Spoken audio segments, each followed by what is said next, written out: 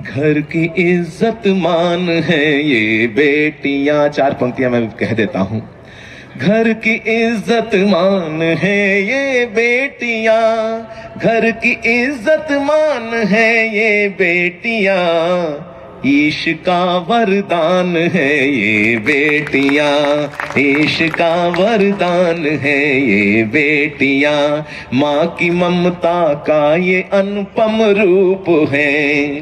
माँ की ममता का ये अनुपम रूप है। माँ की ममता का ये अनुपम रूप है। बाप का सम्मान है ये बेटियाँ।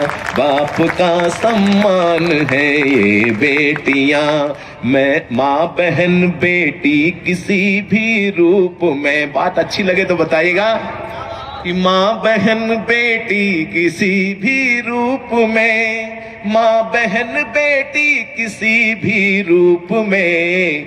रिश्तों का गुलदान है ये बेटियाँ। रिश्तों का गुलदान है ये बेटियाँ, ईश का वरदान है ये बेटियाँ। घर कभी हो देश पर संकट कोई।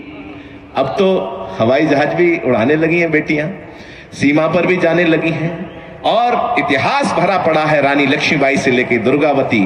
कहीं इतिहास में जब राजस्थान की बलिदानी परंपराओं की बात आती है तो मैंने कभी कहा था, राजस्थान के लोग यहाँ पर हैं कि पन्नाधाय पद्मिनी और हाड़ा रानी वाले नारियों के पुण्य स्वाभिमान को प्रणाम है और मातृभूमि के हितार्थ जो दिया गया था भामा शाह वाले एकमात्र दान को प्रणाम है। आपके समाज ने क्या क्या दिया इतिहास में? कि भामा शाह वाले एकमात्र को प्रणाम है और खास वाली रोटियों को खाके भूमि पर सोए प्रभु एक लिंग के दीवान को प्रणाम है और शूरता वीरता पराक्रम के पर आए आन बान वाले राजस्थान को प्रणाम है। आन बान वाले राजस्थान को प्रणाम है।